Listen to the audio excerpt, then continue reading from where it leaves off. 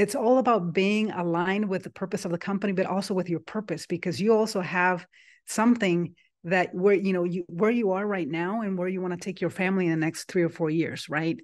Integrating that has been so amazingly valuable.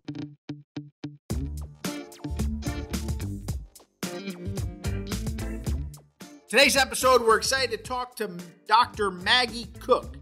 Uh, Magie grew up among 68 other kids in an orphanage in Mexico. As a child, she taught herself how to play basketball, was selected to play on the Mexican national team.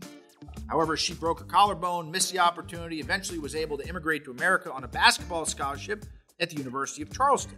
While there, Magie started to make fresh salsa for her friends. The word spread, people really liked it. She began to get requests from professors and other staff. Uh, she started to like build a little bit of a business. And after Magie graduated, while struggling to find a job, make ends meet, she unfortunately became homeless. A friend later entered her in a fresh salsa competition for the state of West Virginia, and Magie won the contest unanimously, was gifted 800 bucks to start a business, and it was the beginning stages of Maggie's all natural fresh salsas and dips. She learned firsthand the ins and outs, production, distribution, building a talented team, cultivating a positive company culture, driving sales, consumer marketing, along with all types of other lessons that entrepreneurs experience when they start a business up from scratch. In 2015, at the height of the business's success, her company sold uh, to a small company you may have heard of, uh, Campbell Soup, for $231 million.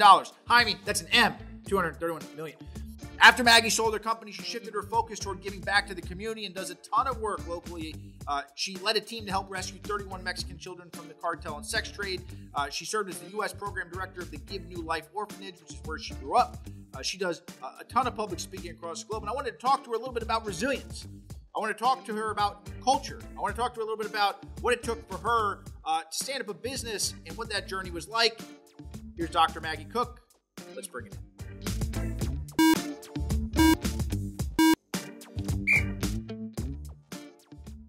Magie, can we start with a question? I know that you probably don't get rare, you know, you never get this one to maybe start out, but do you mind maybe sharing a little bit about your background and your story um, to open us up? Yes. Um, oh my gosh, there's so much to my story. Um, the best way that people can look at the comprehensive in like three minutes is to go to gomagie.com, G O Magie with one G.com the first three minutes of that really explains everything about my story. Uh, but just in a nutshell to give you uh, some perspective here i was born in an orphanage in mexico.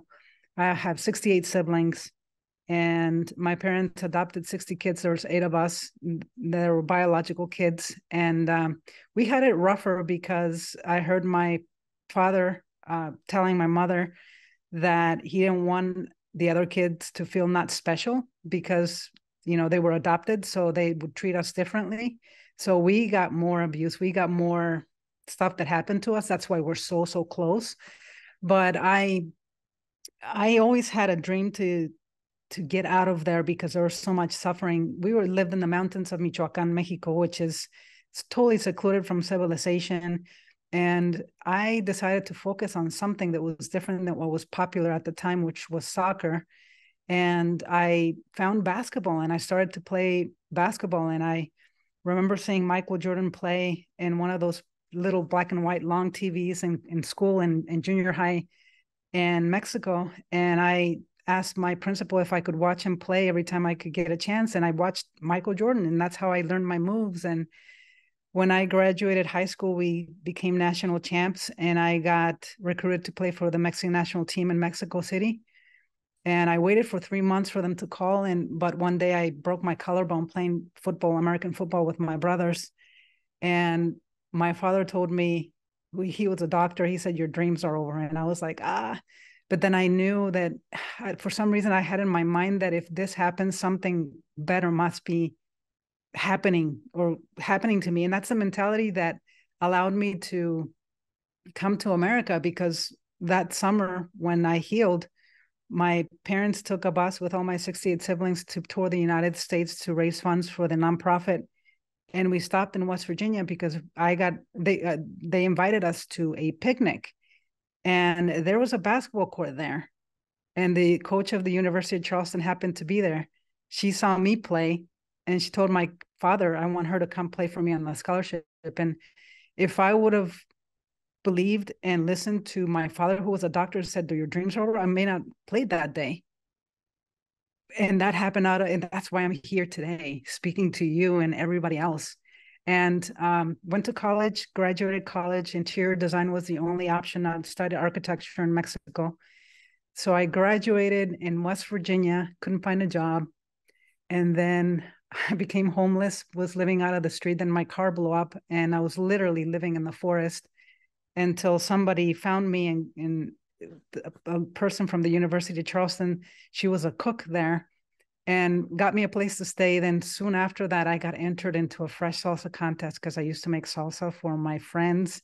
And my friends in college had my teachers like had me bring it to class. And so it was really popular. So I entered this, this salsa contest.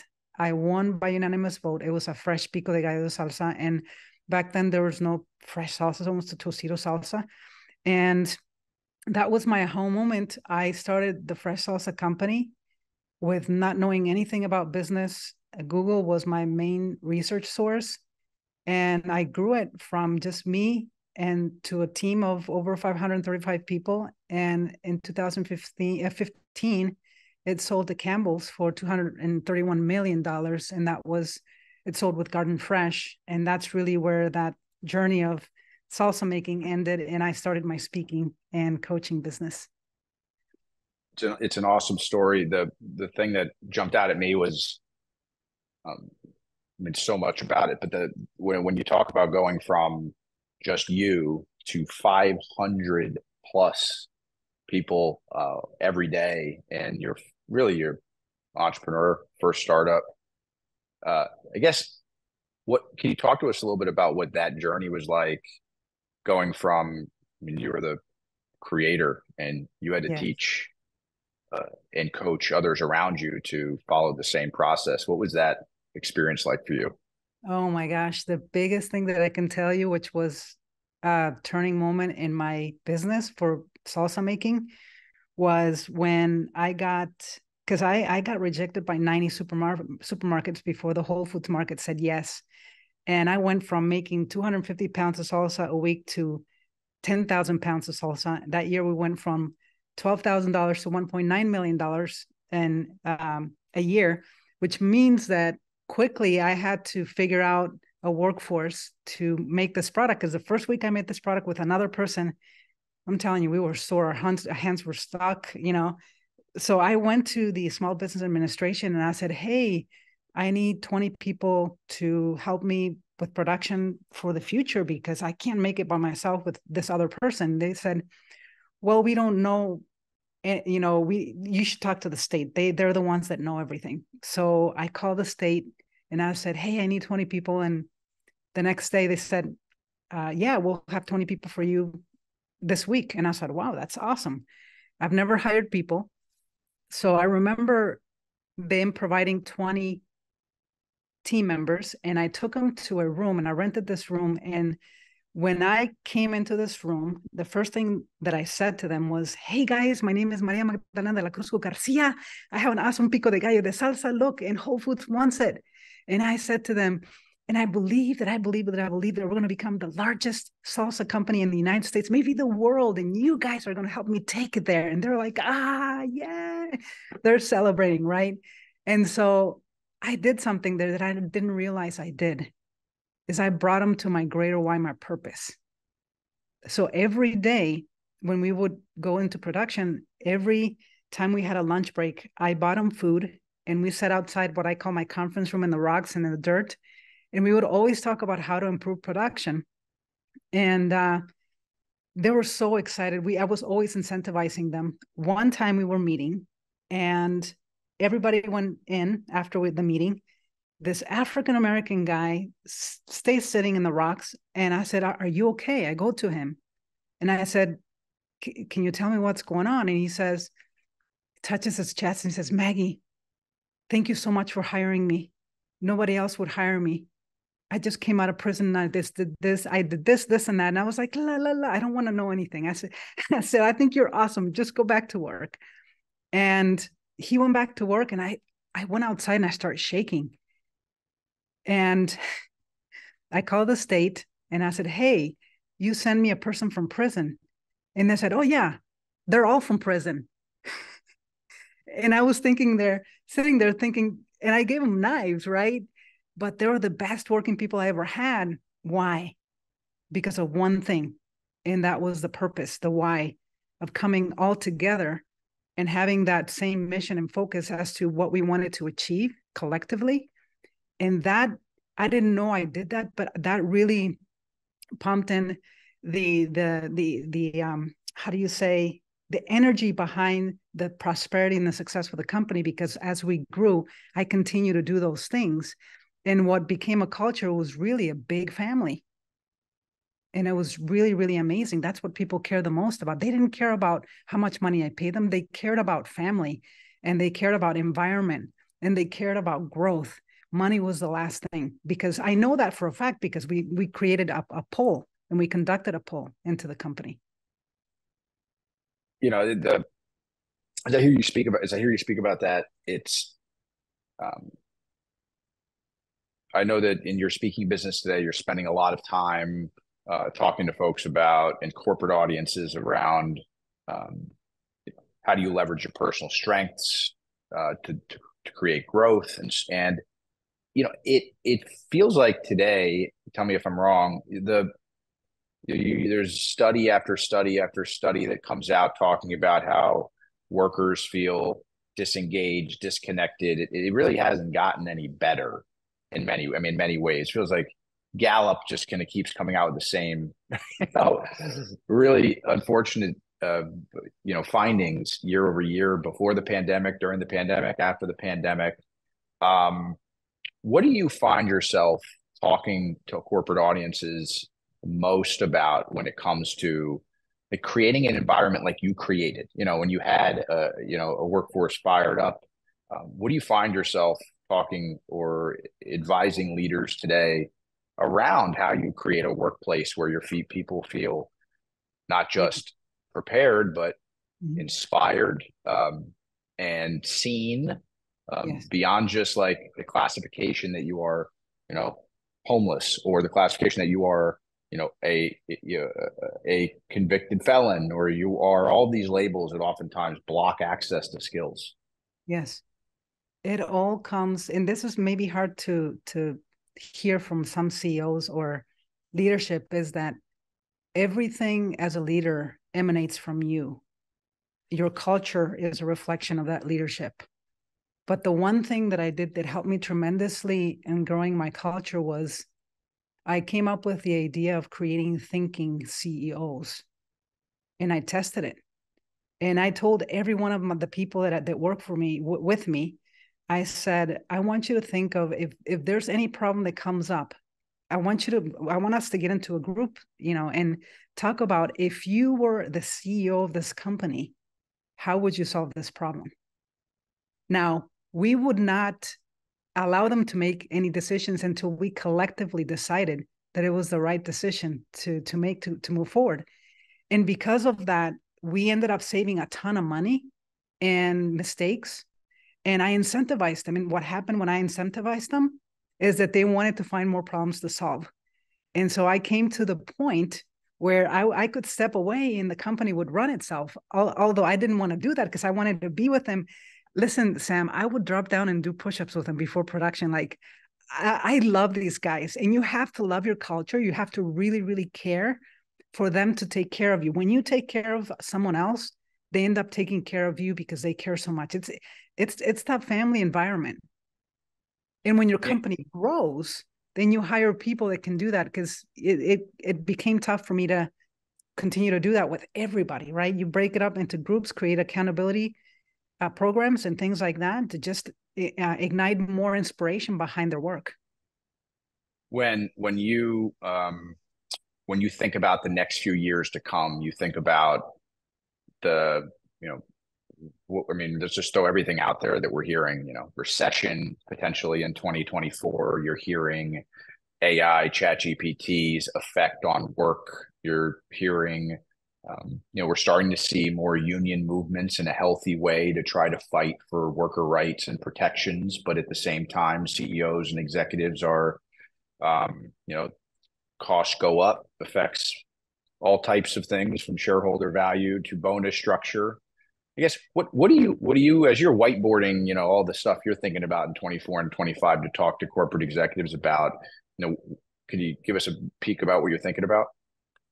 It's a really, really good question, but it's a question that requires many different answers depending on where each company is sitting.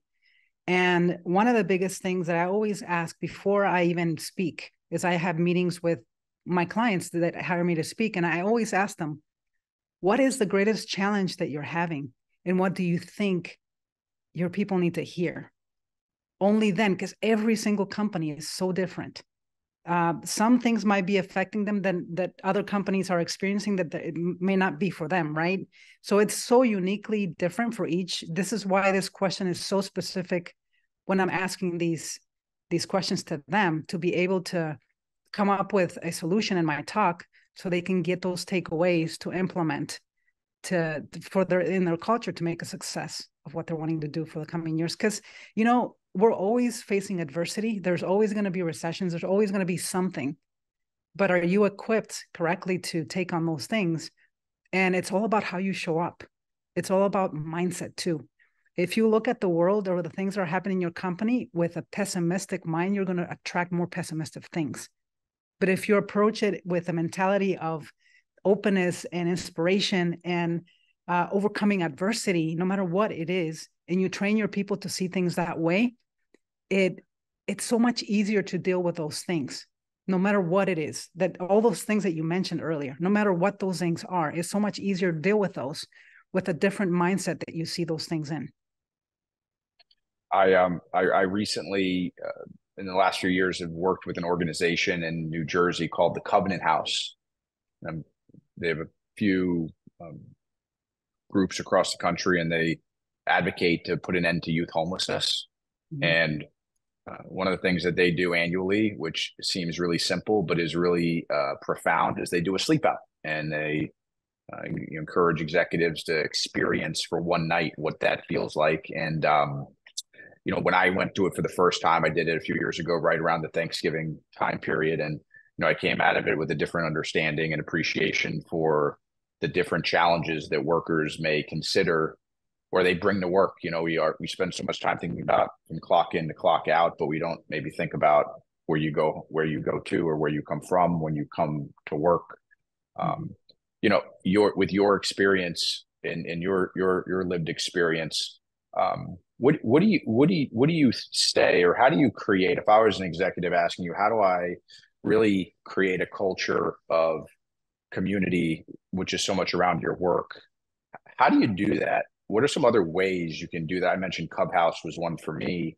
Um, what are some other ways that corporate leaders can create communities uh, and empathy for you know with their middle leadership and management to understand um, their workforce a little bit better? To do the push-ups like you did. How do we get how do we get more people kind of doing push-ups? Yes. So ah, the, the best thing that i can tell that that really ignites me is accountability creating accountability through through teams. And the way that i do this and i teach this to to other people too is creating an accountability system where you bring in people your your team members and have and, and teach them how to discover their why and create a an affirmation personal and for their business for the business for the the company that they're part of. And every single day groups of 10 to 15 they state their why personal and with the company just by doing that you're future casting yourself because the affirmations are in the present moment as that which you want is already here. And then we go through what are the things that you're going to work on today what and if let, us say if it's tuesday we talk about what did you get done yesterday? Was it successful? Did you not? If not how can we support you with that? And the passion that comes from that and just the the eh, people get to know themselves more and they get to know uh, in a personal sense but also they get to discuss their dreams and aspirations personally but also as a company. And that to me I found that team members began to manifest things even outside of the company because their mindset was being aligned to that which they they wanted. And it just that's a whole different thing to lift up their spirits because somebody manifested, you know, some money here, some money there, or maybe somebody started a, high, a side hustle that I totally support, right? And they got something from that. And it's all about being aligned with the purpose of the company, but also with your purpose, because you also have something that where you know you where you are right now and where you want to take your family in the next three or four years, right? Um, integrating that has been so amazingly valuable. And I know it takes a little bit of time, but 10 to 15 minutes in groups of 10 to 15 and breaking in and creating self-led accountability groups has been mind-blowing.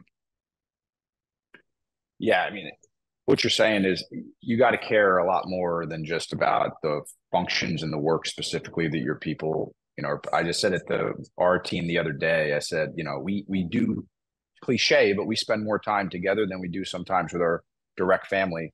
And I don't know, as a leader, I think that that um, that opportunity to do work together requires more responsibility as of leaders like you said. You it's not a nice to have what you just mentioned. Like that's almost how you create a high performing workforce of tomorrow. You have to get into the weeds and help people. You mention affirmations. I mean sounds so simple. It's not it's not simple it's not simple but it's very powerful. Yes. Love it.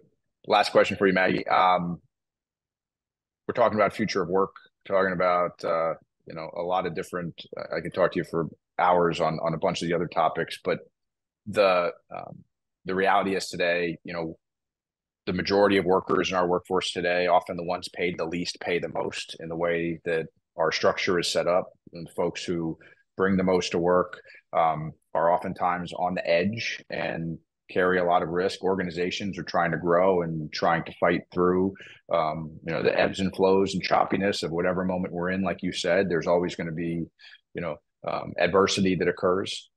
Um, I want to ask, what, what is what is your hope for the future of work? I think that my hope is for companies to start seeing people more as family and really investing their time in getting to know people because people take care of people. Their customers their clients may take care of their their their um, employees team members take care of their clients depending on what kind of business it, it is and they also take care of the boss and everybody else. So if you're kind to them and go above and beyond to serving them you have to become a servant leader because leaders inspire action and the more you do that and lead from the front, I never ask the team member to do something without me showing them how to do it first. And that sense of community and family, it just goes a long way. The more we can integrate that aspect of really truly caring for people, it's not just about money. Because if you give so much value out there to the people that you serve, everything else is going to come back tenfold that's something that I've experienced over and over again. And I'm going to continue to do it because it works. It truly works. Magie, thank you for taking time. Thank you so much for having me.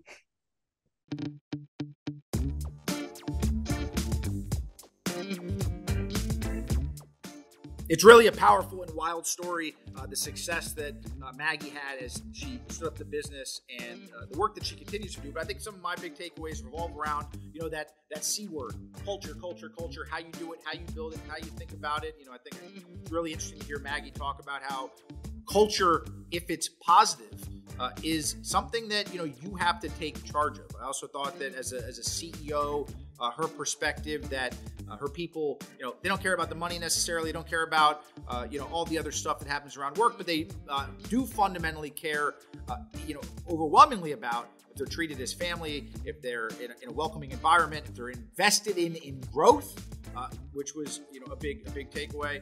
You know, Magie talking about a healthy community. I think we could all take something away from this. It starts with accountability. It starts with encouraging other people in their personal dreams and goals while they're maybe in this moment in time working alongside us in our organization. Magie said, I found team members begin to manifest things even outside the company because their mindset was being aligned to that which they wanted. Finally, Magie's hope for the future of work that companies start to see people more as family. So, thanks to Dr. Magie Cook for joining us and having this conversation today. Pretty awesome business, pretty awesome success. Really awesome to see the impact she continues to have in her community. Now, don't forget to subscribe to Bring It In so you never miss an episode. We've got some awesome guests lined up that you're not going to want to miss. Now, back to work.